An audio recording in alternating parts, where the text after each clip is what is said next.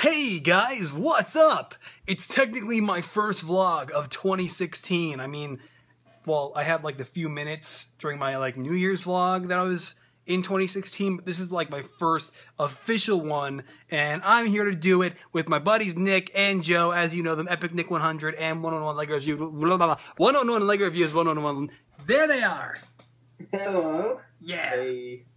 They don't have their webcams on, so their profile pictures are cool enough, I guess. We still haven't thrown that out and or taken that stuff down or like pretty much half the Christmas stuff that we put up. So there's that. But it's been like two, two and a half weeks. I'm guessing I don't keep track of when I do vlogs anymore, honestly. It's just like I think I've about given up on keeping vlogs consistent. It just doesn't happen for some reason. Anyway, so we're just gonna start off. I'm just gonna start off by just showing you guys what I'm working on right now, and that is pretty much almost 100% at the moment Deadpool. And uh, Deadpool himself is uh, actually come along really well. Since the last time I vlogged, I pretty much made about 70% of the figure. I mean, there's only some detail on the sides of his legs, the backs of his legs, and uh, also the back of his torso, and then the figure is done. I mean, there really isn't a lot left for me to do. I'm working on this figure a lot. As a matter of fact, I did actually put up the first uh, teaser photo of my Deadpool minifigure about a week ago now. So, yeah, that was a thing that you could have caught on my Facebook, Twitter, or Instagram if you follow any of those. And then also, uh, Colossus. Um, not nearly as much progress on Colossus. Um, so I've been working on him quite a bit, and he's definitely quite a challenge. Um, and you know, I, I am trying, I'm, you'll see what I'm doing with Colossus pretty soon. I'm going to be posting the first preview not too long from now. I'm hoping within the next week because I think within the next week I'll get him to a point where I'll be able to put him in a preview photo. You see, Deadpool was at that point. I had enough progress on him where I could make a photo. Colossus is not. So, still working on him. Uh, the movie comes out on like what, the 11th? So, uh, the showcase will be out on the 10th. And that is the goal that I'm sticking to. So, yeah. Um, Anyway, one other thing I want to mention before we start talking about DC stuff.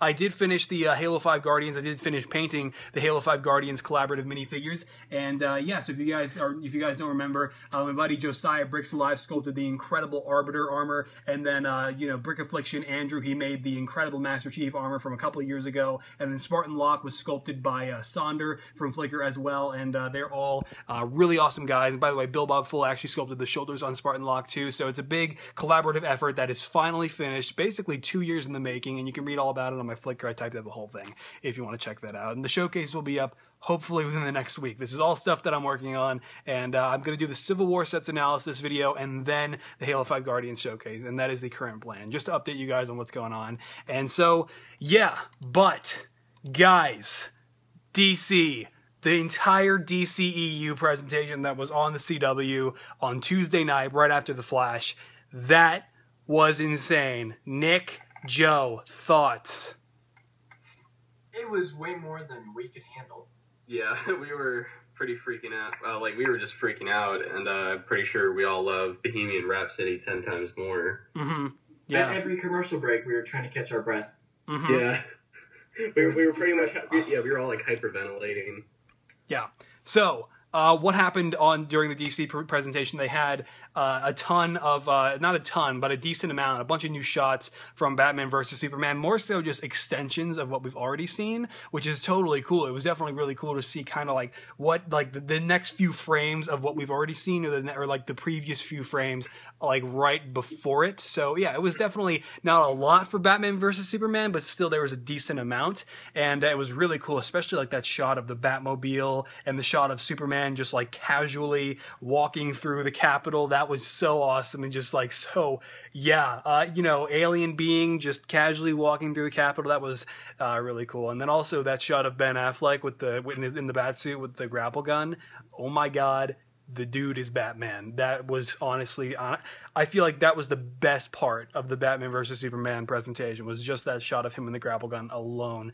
And uh, yeah, I don't actually have that pulled up at the moment, but Anyway, another thing, we had the entire like they had a bunch of Justice League concept art that they uh, shoved in our faces like unexpectedly, and we were all freaking out. Uh, we had some concept art of the suit that they're going to be putting on Ezra Miller, and uh, I don't. The, the concept art must have been done like so early on because there was no likeness really to Ezra Miller at all in the Flash concept art, but uh, it actually almost looked like the uh, Flash concept art was uh, like the face of it anyway was pasted over from the DC Online Flash, um, and so yeah, I'm pretty sure isn't that what that game called, Joe, Nick? Yeah. Yeah. DC Universe Online. DC, yeah, DC for- Universe same thing. Online, yeah, from one of those old cinematics. But um, yeah, so that was really awesome. We got our first look at it as Ray Fisher as Cyborg, and it was actually the first time I ever heard Ray Fisher's voice because they had like little mini interviews that they had going as well. And um, yeah, the dude sounds like Cyborg. The dude looks like Cyborg. It's definitely pretty exciting. So yeah, there's that.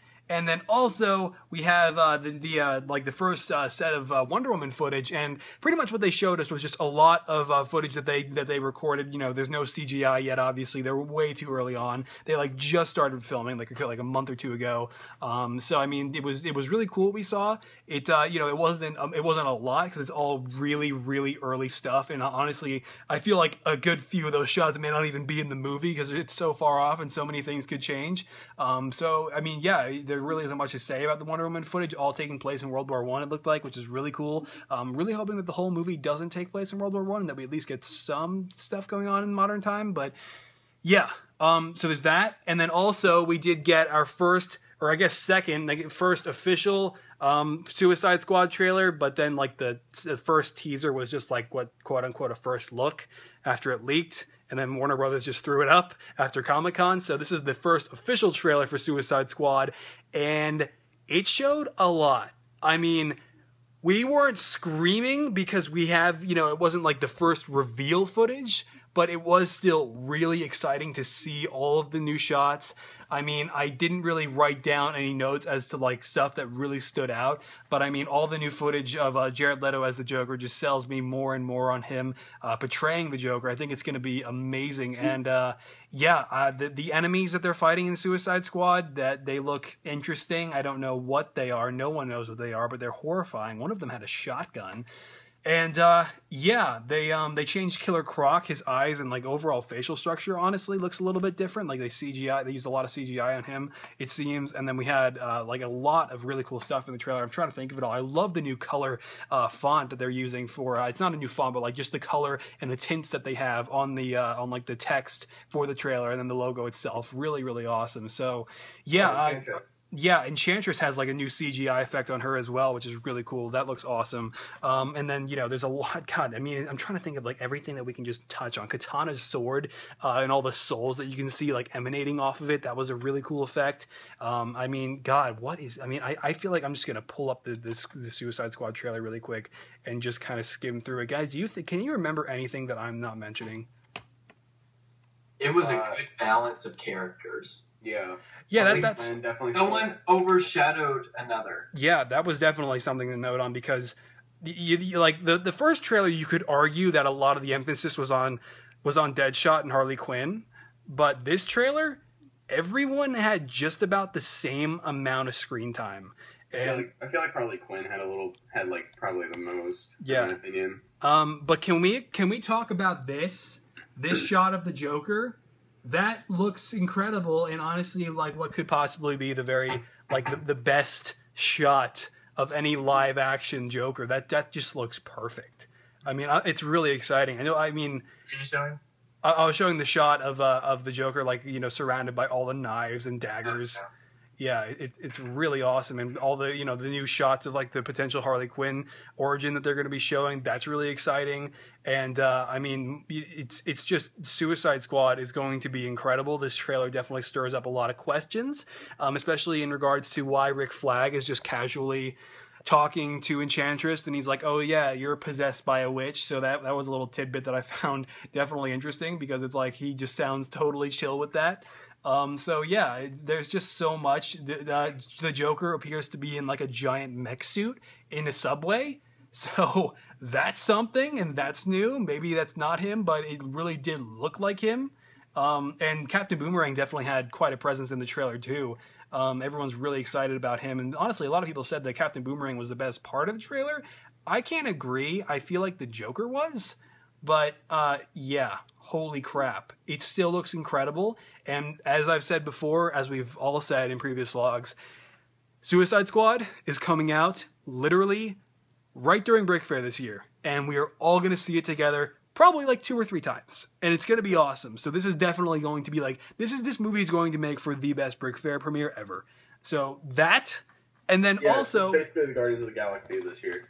Yeah because uh we had guardians of the galaxy in 2014 and then in 2015 uh, you know, this year or last year, we had uh, Mission Impossible: Rogue Nation. So, yeah, Suicide Squad I think is going to be the best, though, hands down. And then uh, uh, me and Nick are actually going out to Joe Land in Kansas City, Missouri, to see Dawn of Justice with him. So it's gonna be the three of us, and we're basically making like a freaking like meetup party out of Dawn of Justice, and it's gonna be pretty sweet.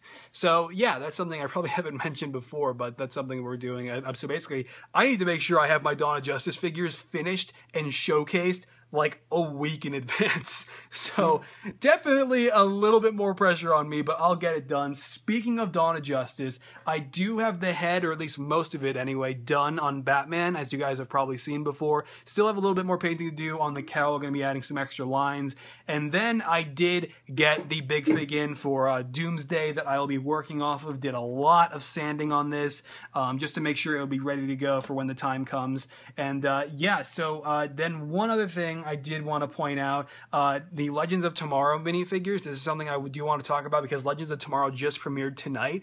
And uh, by the way, the premiere really felt like just a quick like explainer episode. Like they were just like there wasn't a lot of action in this first in this first episode, but that's okay because you know it's an introduction. It's going to get a lot better, and uh, I just cannot believe that it was already announced eight months ago. Because when they you know they they flashed 2016 at the end of the Comic Con teaser for Legends of Tomorrow, it seems so far away, and we're already here. It was already tonight, and it was pretty sweet. And I'm looking forward to the rest of it. Um, but you guys might remember this guy, the Atom whatever happened to it. I've talked about it briefly here and there in you know different vlogs over the past year, but I started on the Atom way back in February of 2015. And then Arrow season three ended, and no one cared, and neither did I. I, I had like Avengers: Age of Ultron figures and a lot of other stuff I was working on at the time that I kind of considered to be more important. And so then Legends of Tomorrow was announced, and I was like, dude, why should I finish him now if he's going to be a lead character on a huge show and I can make him a part of something bigger? So I figured, okay, I'm going to put him in my in my Brick Fair case for a few months and uh, basically freeze him in carbonite and uh, not touch him until January. And uh, well, now it's January. So now, once I get enough progress done, I think once I'm done on Deadpool, once I'm done with Deadpool, and once I'm done with Colossus, you will probably see uh, me make more progress in the Legends of Tomorrow figures. I do kind of have like a blank slate here for Rip Hunter. There really isn't a lot on him at all. It's just literally a blank torso, blank head, blank legs, blank coat. Um, there's like nothing going on with uh, Rip Hunter yet. Um, but I do think what I'm gonna be doing for the Legends of Tomorrow minifigures is I will be breaking it up. Um, so you're gonna have basically like like it's I'm treating my Legends of Tomorrow minifigures as this year's side figures. So pretty much what I'm saying is while I work on all these, you know, big showcases that I'm really excited for, that I'm really, you know, that I'm working hard on, you know, for Dawn of Justice, Deadpool, Captain America Civil War, X-Men Apocalypse, all that stuff, I'll be working on Legends of Tomorrow figures off to the side until I make the entire team because I do want to do that. So what I'm thinking I'm going to do is the first showcase is going to be the Atom, Rip Hunter, and White Canary. Those are the side figures I'll be working on while I have extra time. And uh, so, I mean, the more I can work on those figures, you know, just over time as I'm working on these bigger things, you'll see a Legends of Tomorrow showcase pop up here and there. Um, you know, you know, so I, we'll see how it goes. I still don't know if that'll work out. I just that's my plan at the moment that I'm trying to stick to. And uh, yeah, um, I think aside from that there isn't really much I uh, think that there is to touch on. I think that that was pretty much everything that I wanted to talk about in this first vlog of uh, 2016, this first full official vlog of 2016. So, yeah, um, one other thing I do want to talk about before I close out, though, uh, the reviews. As you guys have probably kept up, you know, th- these past couple weeks on my channel, I've, I've been cranking out reviews here and there, and uh, I had like a straight run of just four reviews. Just just like I, I think it was like four days. I you know it was like two, like one day I was working on the first review on like January third, and then like uh, I had the next one up on like the fifth, and then I had the one after that up on the seventh, and I basically just kept it going um, for like every two days four reviews and then I waited like a few days after that then posted the next one which was actually the last video I just posted um, the uh, Venjet review. So basically what I'm saying is I'm going to keep them going and they will be still going up. I'm probably going to review another two to three sets before I cut it off there and then the Battlefront sets of course I'm going to review those when they, when those hit the States and actually become relevant here because um, I know you Europeans have already been enjoying them for like the past month or so. Um, or not the past month but at least past couple weeks. So yeah I have no sense of time. Joe Nick say something I don't know. Something. Yeah. Oh, we- Star Wars got delayed. Episode Oh eight. yeah, that's Yeah. something that happened. That was not in my vlog notes. Um, so Pirates of the Caribbean Five got pushed back or actually forward. Now that's going to be coming out even sooner, and that's really exciting for next year. But then the bigger news came out that Star Wars Episode Eight is actually not going to be coming out in May of 2017, and instead it'll be coming out in December. And honestly, I say thank God for two reasons. One, gives them more time to work on the film. And clearly, December worked really well for The Force Awakens. And so, making this movie come out like just two days sooner than like, you know, what would have been two years, uh, a full two years, I think that's really good because it's coming out on now it's slated for December 15th of uh, 2017 and that's honestly really good because it obviously like i said worked really well for the force awakens and also what's really exciting about that is uh well that means i don't exactly have to be uh you know uh, uh, god I, I i don't even know the slate for 2017 joe do you know what was coming out in may or like around that time do you guys know It by heart been, uh, Guardians of the Galaxy and then Star Wars. yeah So that gives me in 2017. I mean, if I can stick to this and keep making all the figures I want to make for these next couple of years, uh, so in, in you know next year I would have been working on the Guardians of the Galaxy figures and the Force Awakens figures at the same time because I'm pretty sure what it was coming out like the same week, Joe, originally, or like Uh, the uh, same, same month, month. the same month, yeah. So I mean, I think it's a really good thing that the Force Awakens was delayed. More money for Disney, a better film for us, and more time for me to work on figures. So. Oh, also, also Spider-Man got pushed up a couple weeks in 2017. I don't know why. Yeah, it's like July 7th now. Yeah. Yeah. So- Big whoop. yeah, yeah, not a really. That wasn't exactly the. Everyone was more so talking about Star Wars, not the. Yeah, no one really Couple cares weeks. Spider-Man. Yeah, not yet anyway, because we haven't seen them. But yeah, guys. Um, so I'm gonna get back to work on Colossus and get the Deadpool figures done, so I can finally fully get started on Dawn of Justice and just go full steam ahead on all this stuff. And uh, as I said in these past couple vlogs, you know, I hope you guys stick around with me for the entire ride of 2016. It's gonna be pretty awesome. So anyway, I'm gonna end it there. Probably forgetting a lot of stuff that I wanted to mention in this vlog, but that's okay. I will mention it in the next vlog. And uh, Nick, Joe, and say bye. Bye. That was terrible. Do it again. Bye. Bye. You guys are terrible. Okay. Bye.